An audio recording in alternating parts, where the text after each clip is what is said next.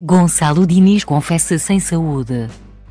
Gonçalo Diniz esteve, esta quinta-feira, no programa de Júlia Pinheiro, na SIC, e falou sobre a luta contra o cancro. Foi em 2015 que o ator divulgou que tinha sido diagnosticado com um cancro nos testículos. Enquanto estava em tratamentos, descobriu também que ia ser pai.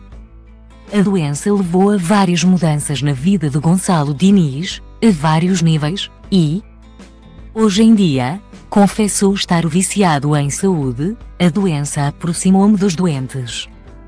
Gonçalo Diniz participa em projetos de voluntariado, nomeadamente, na área oncológica.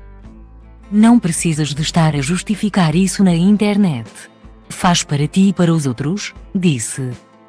Vejo uma parte da entrevista aqui.